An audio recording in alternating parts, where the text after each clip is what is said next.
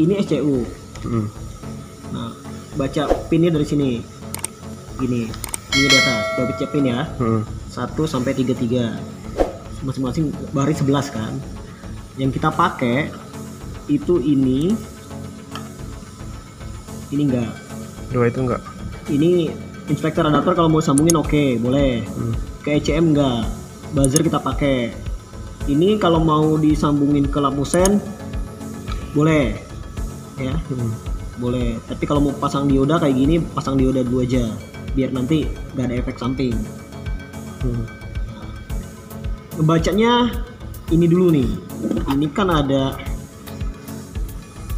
ada 6 kabel kalau nggak salah sesuai dengan ini nih jadi ada yang solenoid plus minus itu yang kalau ini sama remote aktif Hmm. dia bunyi cetek gitu. Baru bisa bisa diputar. Nah ini dia barang ini. Kabelnya mana? Nah kabelnya ini. Dua nih. Dua. jadi Itu nanti api kita ya? Hmm. nah kabel ini boleh bolak-balik ke 29 atau 32 nanti sambung kabel kasih soket itu. Yang Hmm. ini juga 29 32 sambung kabel. Jadi ketemuin nanti pakai soket yang ini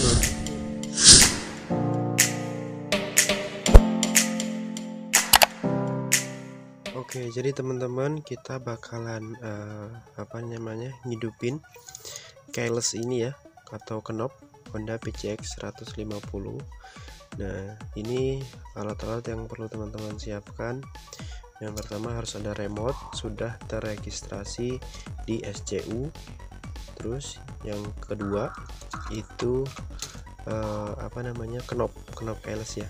Eh sorry, jadi ada tiga knop keyless terus remote dan SCU. Nah, syaratnya remote ini sudah harus teres tereski terregistrasi di SCU ya, teman-teman. Biar bisa connect ya. Nah, itu aja. Langsung aja cara praktiknya kayak gini. Assalamualaikum warahmatullahi wabarakatuh. Kembali lagi teman-teman di Ajura Tutorial. Jadi setelah kita tadi cari tahu ya gimana untuk eh, apa namanya? Cara merakit keyless ya motor PCX 150 di sini. Ini nanti bakalan kita pasang di motor Vario 125 Eh, jadi di sini sebelum yang udah saya kita cari tadi ya di- di BPR ya buku pedoman reparasi. Jadi kita udah ketemu untuk susunannya. Jadi seperti ini teman-teman. Nah, ini saya jelaskan Nah, ini tadi kabelnya sudah kita potong sebelumnya. Ini adalah eh, knop ya. Knop PCX 150. Nah, di sini sudah kita potong untuk eh, apanya? Soketnya ya, soket awalnya. Jadi awalnya itu dia nyatu, kabel ini nyatu jadi satu soket kayak gitu. Nah, di sini saya jelasin untuk teman-teman semua biar teman-teman juga paham ya yang mau pasang ke motor-motor vario. Nah, di sini ada kabel ke warna putih dulu ya. Kabel warna putih ini adalah kabel hmm, apa ini kabel apa ini? Ini adalah kabel api ya. Kabel api. Ini kabel putih ini yang di knop ya. Yang di knop itu masuknya ke nomor 5 pin 5 pin 5 kita coba urut ya. Ini dia. Masuknya ke tengah. Ya kan? Ke tengah. Terus nah. Masuknya di sini teman-teman. Nah ini yang saya pegang. Maaf ya agak acak-acakan. Nah nih. Ini yang sebentar. Oke. Nah ini dia. Pin nomor 5 ya. Nomor 5 itu ngebacanya bisa dari sini. Ini bagian depan ya yang ininya bagian depan. Dari sini 1 2 3 4 5 nah jadi dari dari di 5 pin. Di nomor 5 pinnya ya. Jadi kabel putih ini masuknya ke pin 5 Nah, ini adalah ka- eh, apa namanya api ya. Api apa minus gitu ya. Ini apa sih bacaannya? Hmm, alarm. Oh ini untuk alarm. Apa namanya? Ini untuk led alarm teman-teman yang warna putih. Ini untuk lampu led alarm yang warna merah itu ya. Oke terus yang kedua kita ambil yang warna ini. Ini warna hitam ini adalah lampu ring ya teman-teman. Lampu ring yang ring itu ini nih. Lampu ring ini nih yang bulat ini. Ini warnanya biru. Nah untuk ngidupin ini teman-teman harus di masukin di pin 9 ini di pin 9 itu di pin SCU ya teman-teman. Di pin SCU pin 9 oke nah ini kita coba cek lagi ya. Ini kabelnya. Terus ke sini ke sini ya kan? Nih. Maaf ya teman-teman agak awat-awatan teman-teman eh, perhatikan saya ngomong juga perhatikan ini juga ya. Nah nih yang ini nih.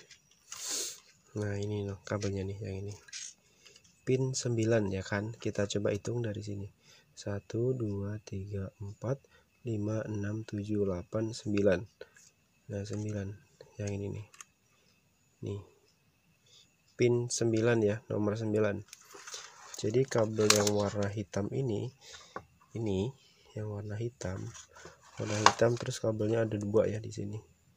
Ini adalah e, lampu ring ini di pin nomor 9 ya kan? Oke teman-teman sudah paham ya sampai sini. Terus yang ketiga yang ketiga adalah e, kabel warna hitam juga. Sambungannya ini warna hitam ya keluarnya teman-teman. Nih. Warna hitam nih. Ini kan warna biru terus keluar dia warna hitam jadi satu. Nah ini plus baterai. Jadi ini dari 12 volt dari standby baterai. Nah standby baterai itu langsung bisa ke baterai ke aki 12 volt atau juga bisa langsung dari kunci kontak yang standby dari aki ya 12 volt. Nah di sini ini juga harus dibarengin sama ini uh, hijau strip hitam.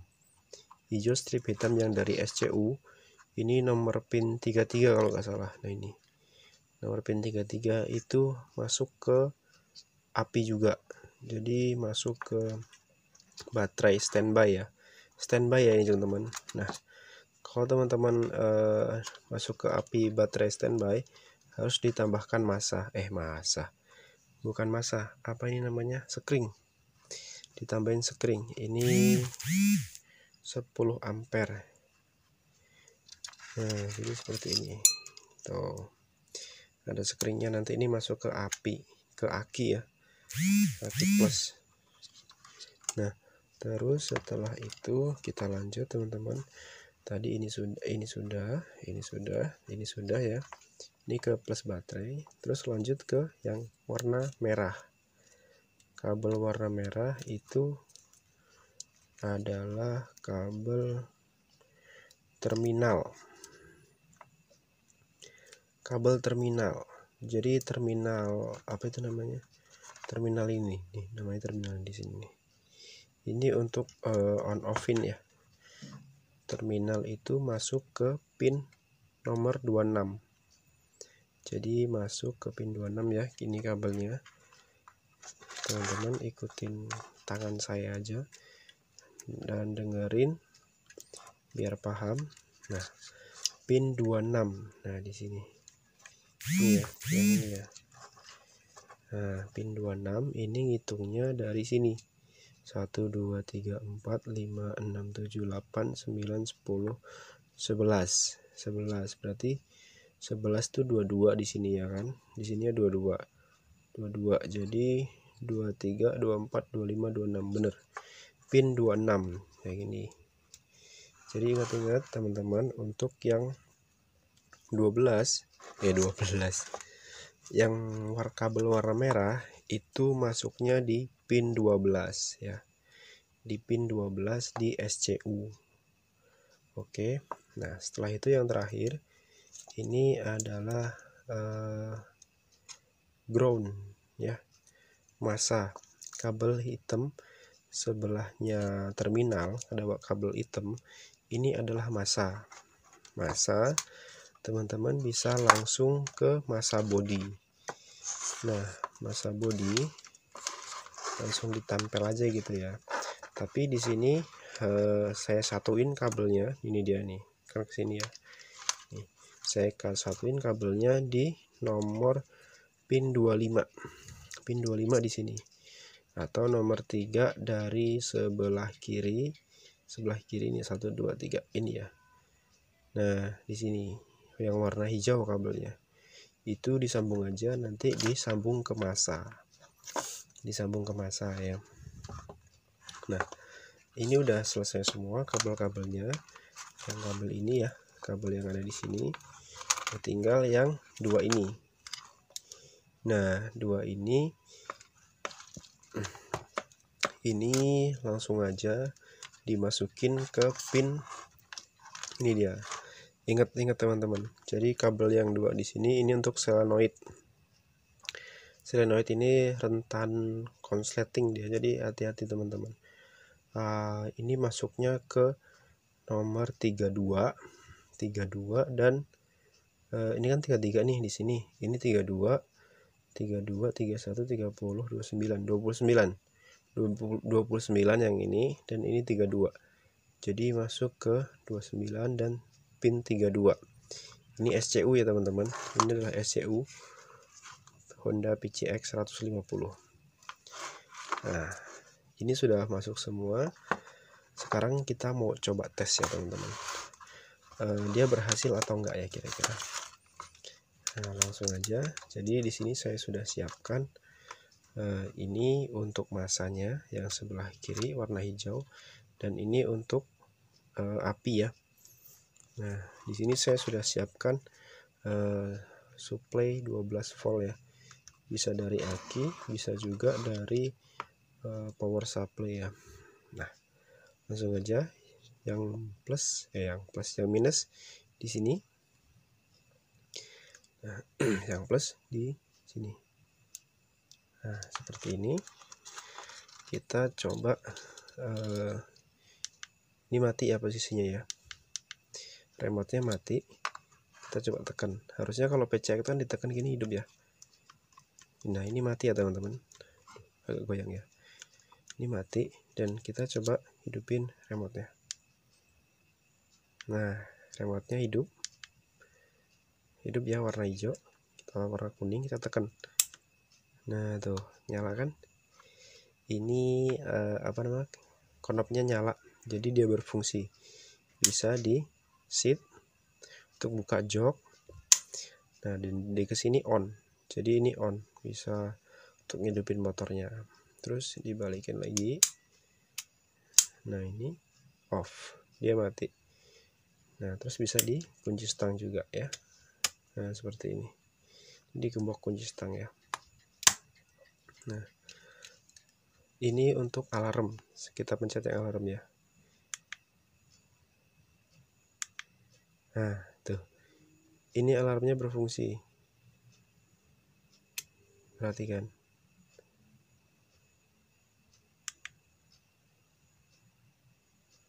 Nah, tuh. Ini alarmnya berfungsi. Yang warna merah, ya.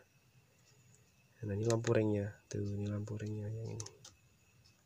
Nah, ini nanti kita tambahin buzzer. Ini kan nggak ada suara ya, teman-teman.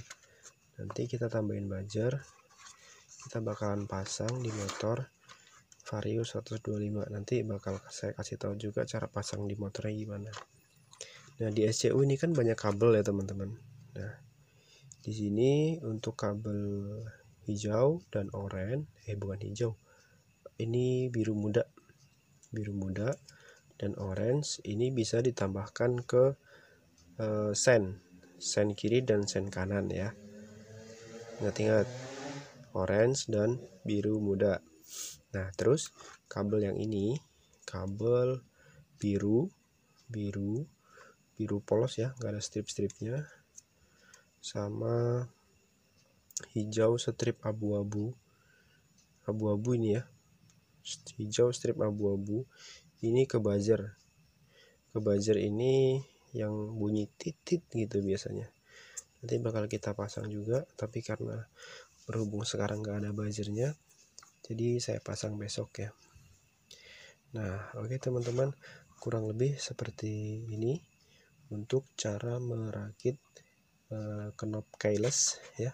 Keyless yang bakalan dipasang di motor Honda Vario 125 nah di sini kalau teman-teman mau pasang satu lagi ya lupa. Nah kalau teman-teman mau pasang kayak apa itu namanya emergency IM connector ya IM connector. Teman-teman bisa gunain ini. Nih ini saya pakaiin yang IM connector itu ya. Nah ini kabelnya warna coklat hitam. Coklat strip hitam. Dan e, disambung aja seperti ini. Nah nanti satunya ini ke ground ke masa. Ground ya nih saya tulis.